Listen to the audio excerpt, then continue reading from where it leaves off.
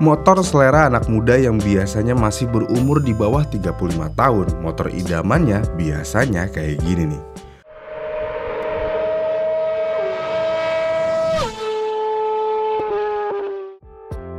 Namun bagaimana jika kalian sudah berusia lanjut? Biasanya seleranya juga akan ikut berubah. Yang mana seleranya biasanya akan ke motor-motor ini.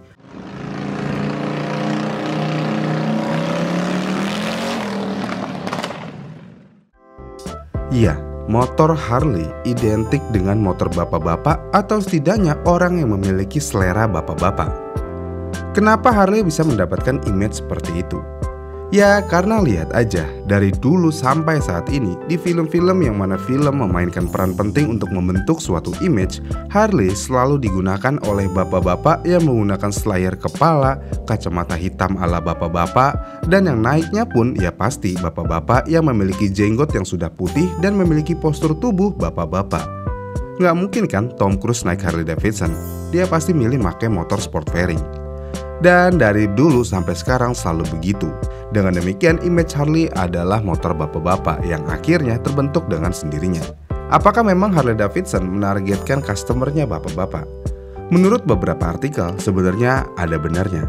Harley cukup menargetkan pasarnya ke usia yang sudah matang. Kenapa? Ya karena banyak alasannya, seperti harganya yang cukup mahal, motornya yang berat, dan sebagainya.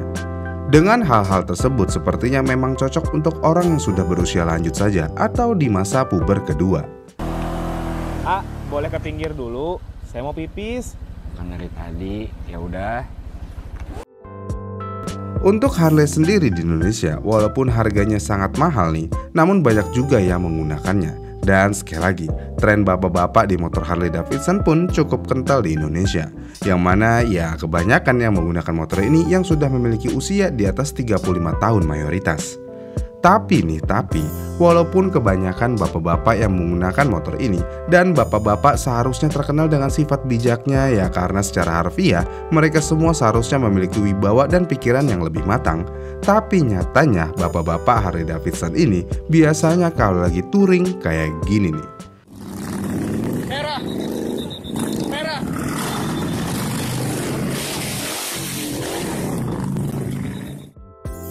Iya, jika dilihat dari video-video yang ada, bapak-bapak Harley Davidson ini kalau lagi touring sangat arogan. Ngebut dengan kecepatan konstan, dikawal patwal, dan yang pasti ogah kena lampu merah. Gas terus. Dan hal ini membuat motor Harley Davidson dibenci oleh kebanyakan orang.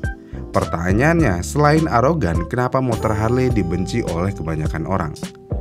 Sebenarnya tidak ada yang membenci dengan motor Harley-nya Karena mau bagaimanapun motor Harley adalah motor legendaris yang benar-benar keren banget Mau dari secara desain dan suara.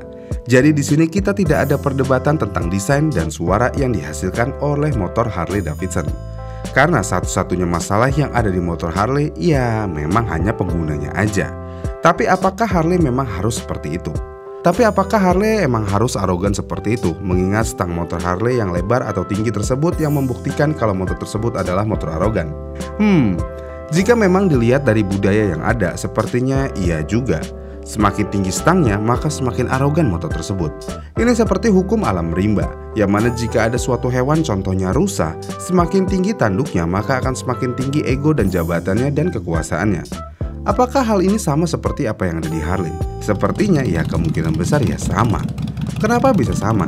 Ya kita bisa sandingkan dengan kelakuan arogan pengguna Harley. Semua terlihat sejalan.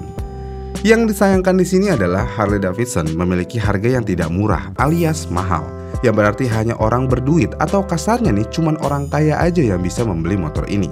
Dan biasanya kalau orang kaya seharusnya memiliki pendidikan dan wawasan yang luas tentang sebab dan akibat. Tapi dengan cara berkendara seperti itu, ini tidak seperti mencerminkan pendidikan dan wawasan yang luas, karena mereka pengen menang sendiri. Bahkan nih, sampai ada kejadian yang mengenaskan banget. Saya menemukan kejadian ini di website ini. Pengendara Harley Davidson melakukan pengeroyokan ke personil TNI. Kenapa mereka berani melawan aparat negara? Karena nih kebetulan pihak penyelenggara touring tersebut ada yang dari pihak TNI juga.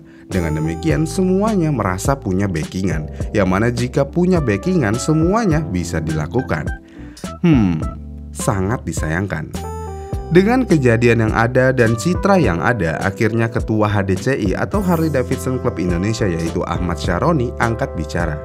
Ditulis, sebagai ketua HDCI, Ahmad Saroni merasa bertanggung jawab untuk membimbing dan menyebarkan nilai-nilai kebaikan kepada para anggota, sehingga tidak ada kesan bahwa penggemar motor gede alias moge Harley Davidson sombong.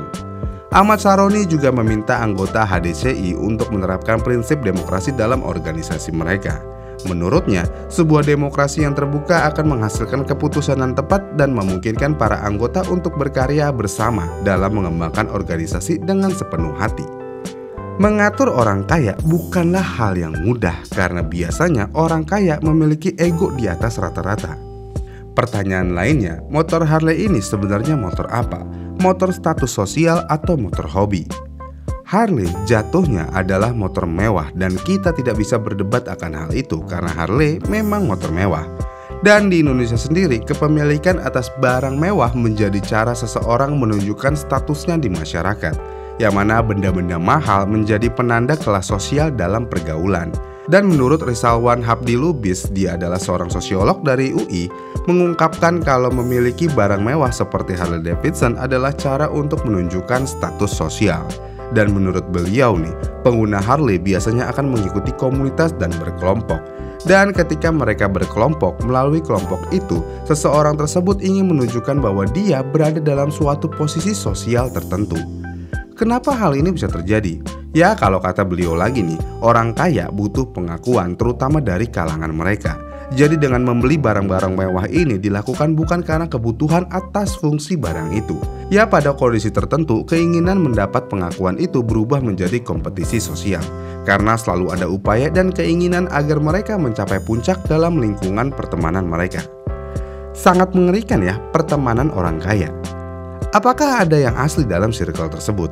Hmm, saya nggak tahu karena saya belum menjadi orang kaya. Ah, lihat aja nanti. Ya intinya motor Harley Davidson adalah motor status. Ya walaupun tetap ada juga sih yang benar-benar dijadikan hobi. Tapi kebanyakan orang hanya akan dijadikan motor status aja kalau lagi ngomong-ngomongin status nih, sebenarnya motor Harley saat ini harganya juga nggak jauh berbeda dengan motor-motor sport fairing yang 600 sampai 1000 cc yang ada di pasaran. Ya memang sih motor sport fairing tersebut menjadi simbol status dan mereka arogan juga. Tapi entah kenapa masyarakat masih menilai Harley masih lebih arogan daripada motor sport fairing tersebut. Mungkin ya mungkin sport fairing boomingnya baru-baru aja, kurang lebih ya 10 tahun terakhir. Tapi kalau Harley dari zaman era 2000-an awal sudah menjadi simbol status dan klub-klub Harley sudah ada dari zaman itu juga. Ini jauh berbeda dengan klub-klub moge fairing ini yang mana klub-klub ini belum berdiri selama klub-klub Harley dan juga komunitasnya tidak sebesar Harley Davidson. Kemudian dengan citra buruk yang dimiliki Harley Davidson ini, bahkan nih terkadang image ini sudah terlampau jauh dalam beberapa kasus seperti kasus kematian yang ada dalam touring Harley Davidson, contohnya kayak yang beberapa saat lalu, netizen bukannya berbela sungkawa, malah mencemooh terjadinya kecelakaan tersebut dengan mengatakan ogah ngerem lah, ngebut banget lah dan lain-lain. Kenapa hal ini bisa terjadi? Ya balik lagi, mereka semua sudah geram dengan kelakuan pengguna Harley Davidson yang suka ngebut dan suka dikawal tersebut.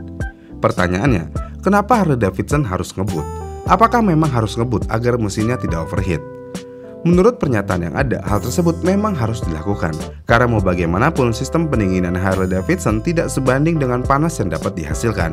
Ditambah kebanyakan Harley Davidson masih mengandalkan pendinginan udara dan oli tanpa menggunakan radiator, yang mana ini membuat mesin rentan terhadap panas saat berjalan dengan kecepatan rendah atau berhenti. Jadi cara satu-satunya untuk mendinginkan mesinnya adalah pengendara harus mempertahankan kecepatan tinggi agar mesin tetap dalam kondisi optimal. Hmm, masalahnya cuma satu sih, kondisi jalan di Indonesia apalagi di Pulau Jawa nih, hampir semuanya ya padat.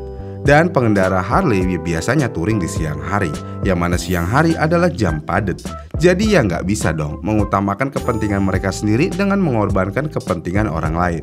Kalau mau touring dengan kecepatan konstan, seharusnya ya touringnya tengah malam, aman tuh, jalan sepi. Ya itulah yang terjadi kenapa Harley Davidson ini dicap sangat sombong. Dan uniknya lagi, Harley Davidson ini memiliki image yang beragam di beberapa negara. Seperti di Eropa bagian utara nih contohnya, Harley Davidson memiliki image motor preman alias geng motor.